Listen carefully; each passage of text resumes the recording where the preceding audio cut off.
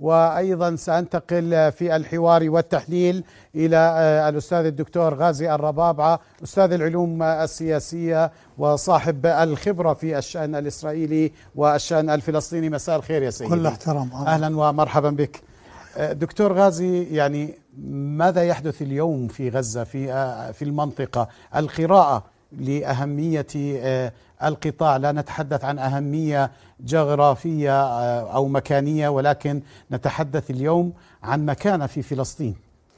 لعل المشاهد الآن يتساءل لماذا انتصرت حماس بهذه السرعة؟ وهل تنتصر حماس فيما لو وقع الهجوم البري؟ نعم. بعجالة نقول انتصرت حماس لأنها أعدت لهذه المرحلة من سنوات. وسربت خبرا عبر عملائها للكيان الصهيوني أنها في حالة استرخاء ولم يعد لديها قوة. نعم. وبالتالي كسبت عنصر المفاجأة. ومن هنا نقول إن حماس انتصرت وستنتصر بإذن الله. لماذا؟ نعم. حماس إذا استولت في خلال ساعة ونصف على 21 موقع عسكري وأسرت العديد من جنرالات الجيش الإسرائيلي وقياداته الكبار ونقلتهم إلى مخابئ هي تعرفها. وبالتالي أصبح الجيش الإسرائيلي دون قيادات وهزت صورة إسرائيل ليس لدى الكيان الصهيوني بل هزت هذه الصورة على مستوى العالم. أن جيش لا يقهر يهزم أمام فصيل ولذلك ليس أمام إسرائيل سوى أن تقوم بحرب برية. نعم. لأنها لا تريد الرجوع إلى الوراء. السؤال متى تقوم إسرائيل في هذه الحرب؟ في قراءة التاريخ الإسرائيلي السابق تقوم إسرائيل في الحرب في عدة حالات من ضمنها إذا دعت الاحتياط. والآن إسرائيل دعت 330 ألف من الاحتياط. لأن قوام جيش النظامي 180 ألف فقط. بينما مجموع الجيش كله 800 ألف. الناس بيقولوا المدنيين الإسرائيلي لا يوجد مدنيين إسرائيل المجتمع العسكري الإسرائيلي في عندهم عسكرة المجتمع كلهم كلهم عسكر. جيش. نعم. والدلالة على ذلك دعوة الاحتياط. الآن هذه الحرب في محاذير إذا دخلت قطاع غزة ترافق الحملة الإسرائيلية التي لابد منها. الأول أن سلاح الجو الذي يفعل فعله الآن في قتل الأطفال والنساء سيتم تحييده. القتال سيصبح قريب. هذه واحدة. اثنين أن هنالك مفاجآت وأنفاق موجودة في قطاع غزة لا يعرفها الجانب الإسرائيلي. فأهل مكة أو أهل عزة أدرى بشعبها نعم. الأمر الثالث من محددات القتال في المناطق المبنية. أن الشوارع في غزة هي شوارع ضيقة. ولا تسمح بالمناورة ودخول الدبابات وبالتالي يمكن اصطياد هذه الدبابات وأعلنت حماس عن قذائف تملكها متطورة جدا آه، تصهر الدبابة وسموها الياس الياسين نسبة للشيخ أحمد, أحمد ياسين. ياسين نعم إذا في مفاجآت ستفاجئ العدو الإسرائيلي م. وهنالك مخاوف لدى القيادة السياسية في إسرائيل أنها ستقدم تضحيات كبيرة قد تهز صورتها مرة أخرى أمام العالم. لذلك طلبت من الرئيس الأمريكي أن يقوم بزيارة لها دعما لها. لا يكتفي فقط بإرسال بوارج وإنما في إشارة رمزية أعلن البيت الأبيض أنه لن يأتي بعد ذلك أعلن أنه سيأتي. إذا الأساطيل هذه التي جاءت ليست لغزة وإنما هي لإيران وحزب الله. نعم. لذلك السؤال هل يدخل حزب الله الحرب؟ وهل تدخل إيران الحرب؟ نعم. الجواب نعم لكن يبقى متى؟ هنا هنالك سيناريو يقول بأنها إذا وطئت أقدام الإسرائيليين غزة فإن حزب الله سيتدخل. وإذا قامت الأساطيل الفرقاطة الإيطالية والبوارج البحرية وحاملات الطائرات والطائرات الألمانية دخلت المعركة فإن إيران ستدخل وهددت القيادة شو حجم الدخول نعم. دكتور؟ كم هو حجم الدخول اليوم؟ آه، للقوات الإسرائيلية لا لإيران إذا ما دخلت الحرب نتساءل عن ميزان القوى العسكري. حزب الله يقال أنه يملك 150 ألف صاروخ. منها عشر آلاف بالغة الدقة. الآن كل الكيان الصهيوني يعيش على الكورنيش حيفا يافا تل أبيب. نعم. والمصانع الكيماوية كلها على هذا ال- لو ضربت منصات الغاز في إسرائيل واشتعلت فيها الحرائق ولو ضربت المنشآت الكيماوية تسرب هذه الغازات يمكن أن تحدث كارثة. لذلك إسرائيل دولة ضعيفة ليس على حدود غزة وتخمها بل هي ضعيفة من داخلها. نعم. ولذلك السبب أيضا المحدد القرآن الكريم يقول لتجدنهم أحرص الناس على حياة.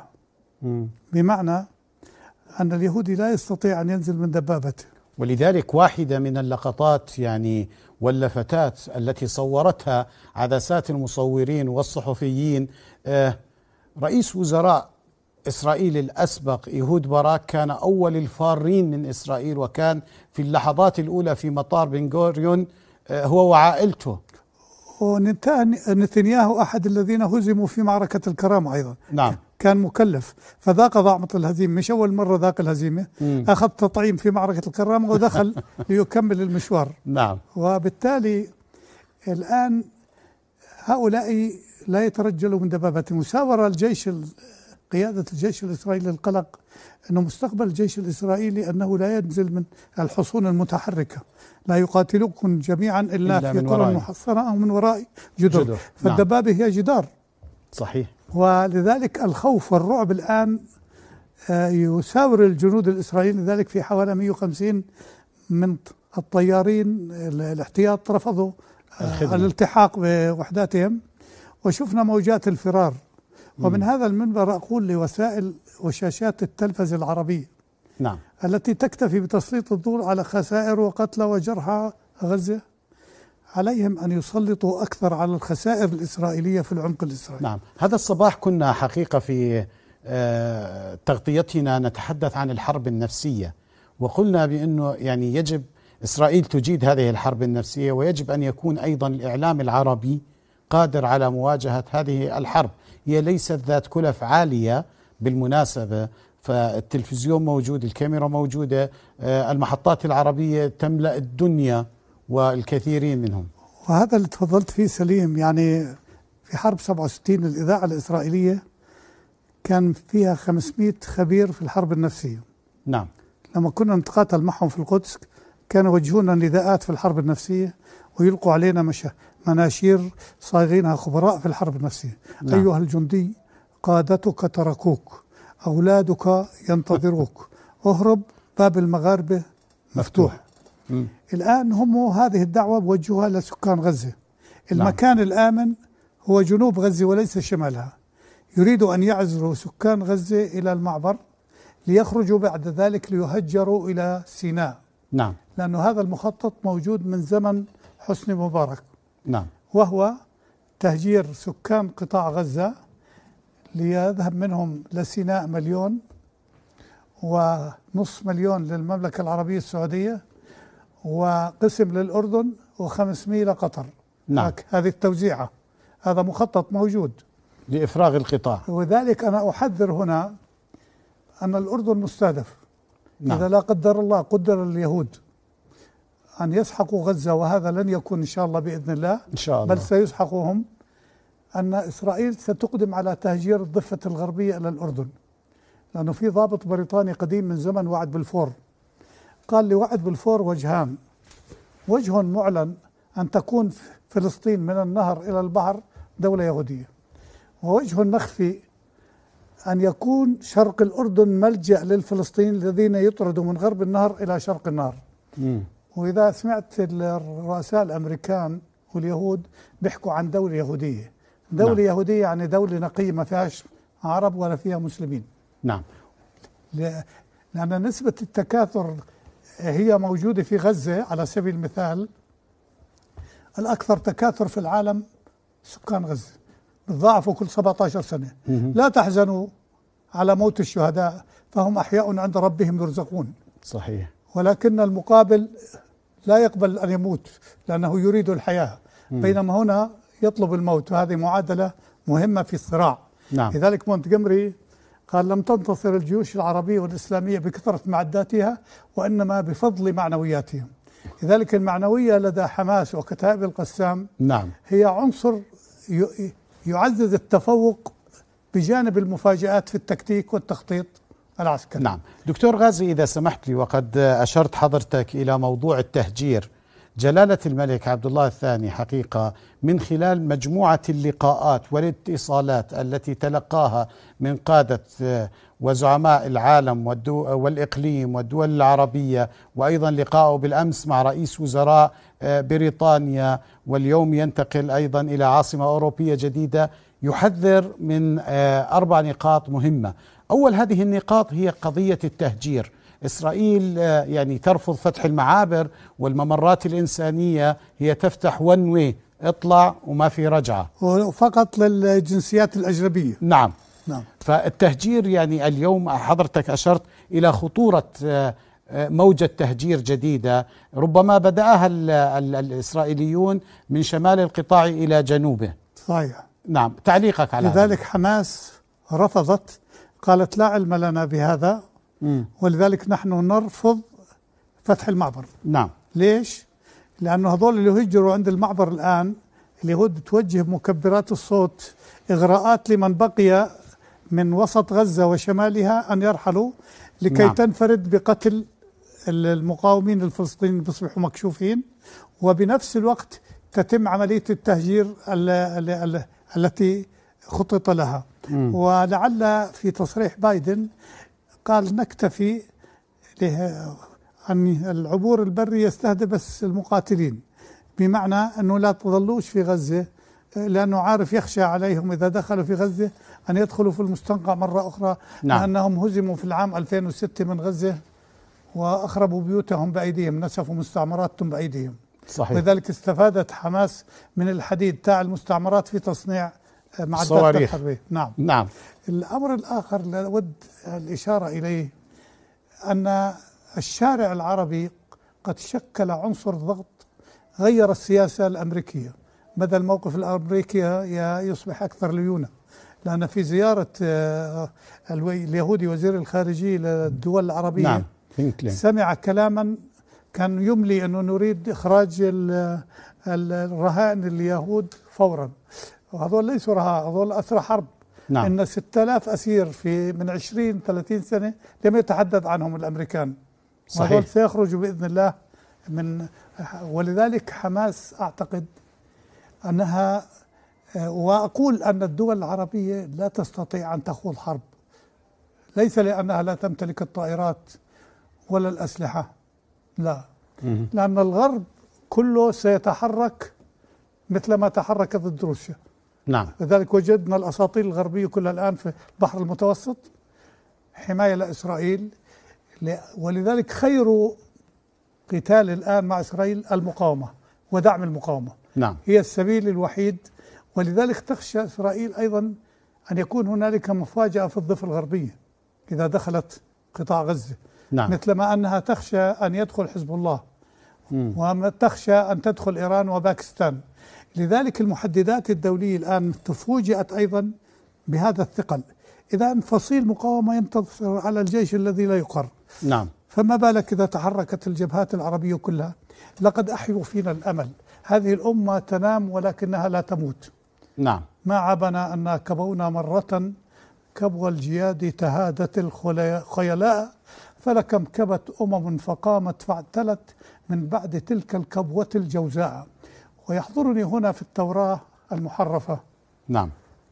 بتقول اطردوهم من بلادكم حتى لا يستعبدونكم في داخل أرضكم. ولاحظ وزير الدفاع الإسرائيلي قال عبارة موجودة في التلموذ. شو بقول في هذه العبارة؟ بيقول هذول حيوانات بشرية عن أهل غزة. نعم. منين أخذ هذا؟ من تعاليمه الدينية التلمودية اللي بتقول أن بني صهيون هذول شعب الله المختار وهم من نطفة حصان أم بقية البشر القويم فهم من نطفة حصان وهم من نطفة بشر. لما يسألوا كيف هذول من نطفة حصان وأنتم من نطفة؟ قالوا حتى خلقهم ربنا هيئة بشر حتى يصلحوا لخدمة بني إسرائيل. مم. لذلك أقول لك وأشيع الأمل من هذا المنبر. مم. أن نهاية إسرائيل قد اقتربت. نعم. بإذن الله تعالى. إن شاء الله. وأنها كبيت العنكبوت وأحمد ياسين عليه رحمة الله. قال تزول إسرائيل 2027 من خلال قراءة القرآنية وبالتالي الضعفاء بمفهوم البشر هم الأقوياء بمفهوم رب العالمين. والأقوياء بمفهوم البشر هم ضعفاء بمفهوم رب العالمين. إن تنصروا الله ينصركم, ينصركم. وما النصر إلا من عند الله. وكلما أوقدوا نارا للحرب أطفأها الله. نعم. ولذلك أنا أعتقد أن العالم الغربي هذا المشغول الآن في الحرب في أوكرانيا لم ينسى أن يهب لمساعدة اليهود فانكشف الغطاء أمامنا كأمة وكشعوب أن الغرب هو الذي صنع هذه الدولة اليهودية كمقدمة حراسة نعم. في قلب الوطن العربي يا سيدي آه، أنت يعني بخلفية عسكرية وعرفت الجندي الإسرائيلي وعرفت حقيقة لا أريد أن أن أصبغ عليه صبغة أن لديه عقيدة لأنهم لا عقيدة عسكرية لدى الجندي الإسرائيلي صحيح. مقابل الجندي العربي أو الجندي الأردني والمقاوم يعني الفلسطيني الجندي الأردني على سبيل المثال في نعم. تربيه في تربية روحية. وهذا سر انتصارنا في الكرامة. يعني في في كل وحدة عسكرية إمام ينمي العقيدة الدينية والتعبئة الجهادية. لذلك لما دخلنا معركة الكرامة ما كان عندنا ولا طائرة حربية. نعم. وما كان عندنا السلاح اللي كان عندنا 67 م. ومع ذلك هزمنا 15 ألف جندي إسرائيلي من ساحة الكرامة. والسبب الطبيعة تقاتل. نعم. جبال السلط كانت وراء ظهر الجيش. بقول لك آه ظهري مسنود إلى جبل. هذه واحدة. اثنين ربنا يتدخل. فالمطر الذي نزل قبل الكرامة بيوم واحد أعاق حركة كل الدبابات الإسرائيلية ومعظمها أن تدخل. وهذا ما قاله ضباط إسرائيليين. نعم. لذلك منحوا ضابط الصيانة اللي كان مسؤول عن إنقاذ الدبابات الوحيد اللي أخذ وسام عندهم. وهذا في بدر أيضا. ربنا لما نزل المياه أخر تقدم قريش وثبت به أقدام المسلمين وتطهروا بالماء. فجنود السماء موجودين أيضا. وأعتقد أن دعاء الناس في جميع أنحاء العالم الإسلامي لإخواننا في غزة. إن شاء الله النصر قادم. ولا يهمكم الخسائر فألمانيا في الحرب العالمية الثانية أكلوا الذباب. نعم. والبريطانيين كانوا كل اثنين يشتركوا ببيضة. وجنود نابليون لما راحوا على 250 ألف حاربهم الجنرال الأبيض اللي هو الثلوج وراجعوا ب 15 ألف أكلوا لحوم بعض على الطريق من الجوع. نعم. لذلك إحنا أمة لا تستأصل بيضتها ولا تصاب بالسنين. فهي أمة قادرة على الحياة. إن شاء الله. إن شاء الله. إن شاء الله إن شاء الله النصر قادم بإذن الله. بإذن الله يا سيدي. ويطلب من شاشات التلفزة العربية أن تتوقف عن الحرب النفسية التي تشن على المواطن. وأن تغطي خسائر بكل تأكيد يا سيدي. شكرا جزيلا لك أستاذ الدكتور غازي الربابة أستاذ العلوم السياسية الخبير العسكري والمحلل الاستراتيجي ومشاهدينا الكرام تكثر التكهنات حول سيناريو الحرب البرية ما بين إسرائيل وحركة حماس. دعونا نتعرف ما هي الحرب البرية من خلال هذا التقرير ولنا عودة إن شاء الله بمسار آخر من التحليل في هذه التغطية. ابقوا معنا. الله يعطيك العافية سيدي.